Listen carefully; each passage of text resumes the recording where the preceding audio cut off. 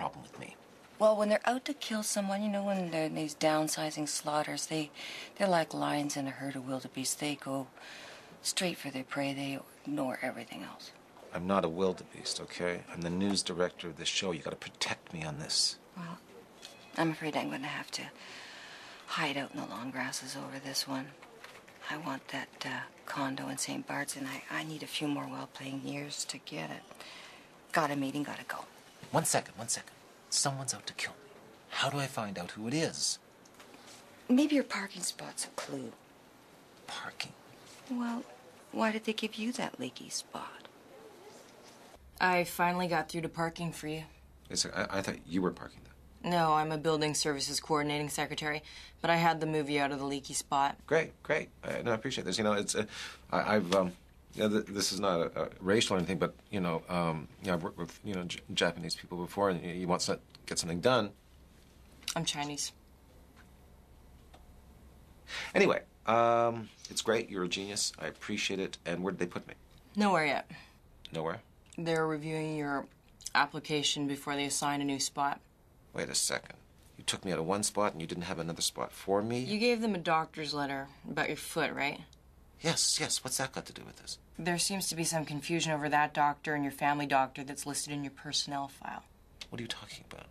They called your family doctor to confirm the letter. Those are two different doctors. I didn't get my family doctor to write the letter. I got another doctor to write the letter. Right. After a while, they realized that they should have called the other doctor. Something came up, and it turns out you're seeing both doctors about the same foot problem and getting painkillers from both of them. Apparently, now the two doctors are into it. The doctors are into my parking spot. Your painkillers. How can you sit there and be so cool about this? This is a disaster, okay? And you can just sit there and be that cool, right? Is this sort of some kind of Zen thing that you. I think I have to go. No, no, this is. This is some kind of Zen thing. The whole Zen thing, I just don't buy it. No one has a clue what any of them are thinking, and they've been getting away with it for far too long. Well, you're allowed your opinion. Oh, now you're doing it. Doing what? You're patronizing me. This is the Western equivalent of Zen. I know what you're doing, but I also know what you're thinking. That's the difference. Uh, I'm not actually thinking anything.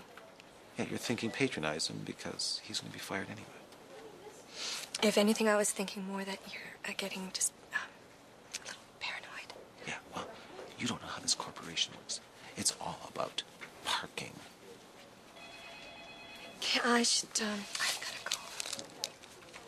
So the guy goes to the psychiatrist. He says, Doc, my brother thinks he's a chicken. Psychiatrist says, Why don't you take him for therapy? He said, I would, but we need the eggs. Want a cigarette? No thanks.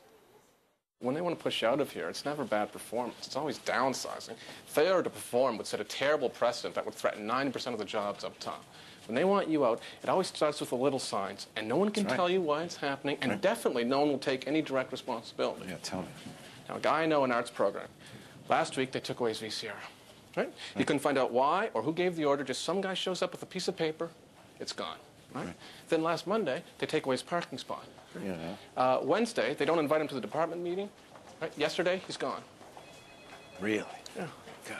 You know, Zen, I've been thinking about this. It's very internal, right? They hold it in, they hold it in, they hold it in, then boom, Pearl Harbor.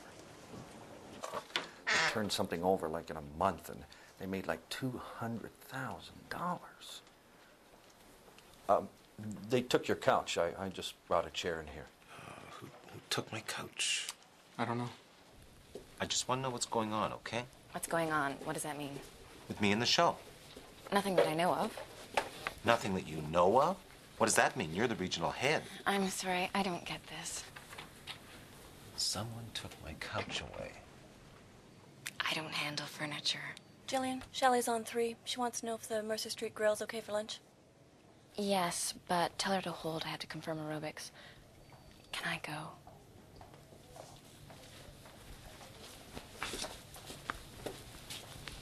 So the testicles on that bear shipped over to China, I figure will fetch me five grand US.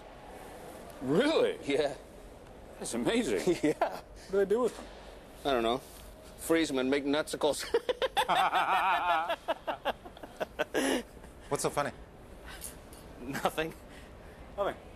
Is this about my couch? No. Is this something I should know? No. No, what? Nothing, nothing. Okay, forget it. Nothing, nothing, nothing. Yeah, so I hear the whale penis is really big in Asia, too. I've heard that. The Dixicle? Right.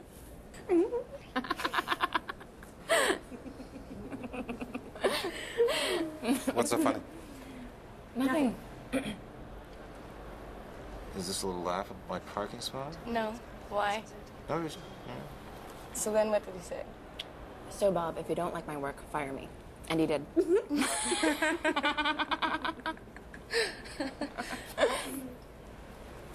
Nothing? Okay.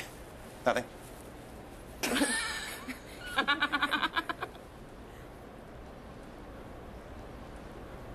Everyone freaked out when they called you to do the segment on the new TV season. You know, John Haslett Cuff has made a career of trashing a corporation. Well, I think they take it all a little too seriously. Uh, I think you're going to find there's a new wave of optimism here after these cuts. The dust has settled, and the people who made the cut are more confident, they're less paranoid. I mean, the sniping has stopped. Assholes up there. They're completely gutless. They fire you with parking, with couches, with voicemail, and no one has the guts to face you. Absolutely. Well, screw them. I can bury the entire board of directors with all I know. John Haslett Cuff would love this. He'd run it in the Globe and Mail in a second. I'm not just kissing ass here, John, because you're a critic, but I think you're great. You've written brilliantly about this place. But the thing you miss, because you don't work here, is the epidemic level of, of, of ass kissing and backstabbing and small minded politicking that leads to that third rate chicken shit programming. I have to be honest. I don't think anyone on the inside has ever really been honest about this. They have a new policy where they clean all executive couches annually. So they took yours, cleaned it, and it's on its way back. They only took my couch to clean it.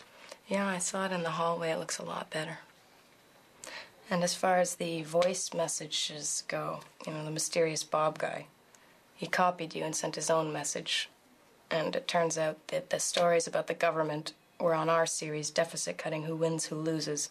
And the reason they were discussing it up top is because they thought it was the best series on the provincial government's policies since they came to power. That was the voicemail. That was the whole thing. Yeah. Oh, no.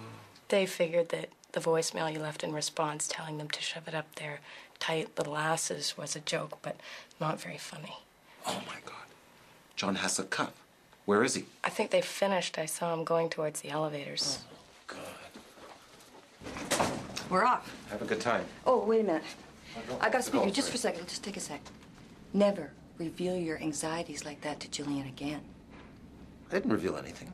Your job, your couch. Now, that little girl can smell blood. It just puts ideas in her head. I don't trust her. You don't trust her. You chose her. Well, I also chose my first husband. He screwed everyone in sight. Now, just, just be more careful what you say and do while I'm gone. Real nice to meet you. Oh, yeah, it was great.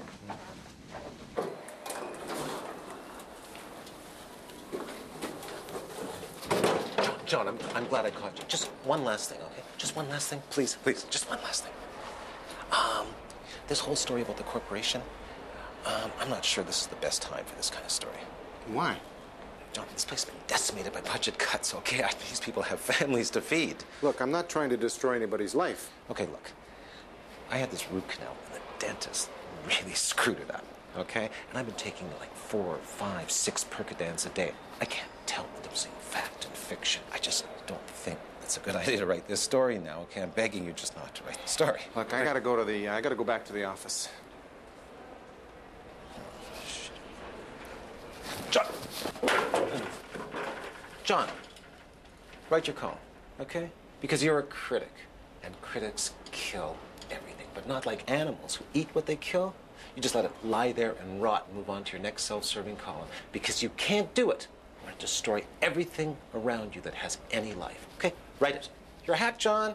Write your column. It's water off my back. Water off my back. I don't give a shit.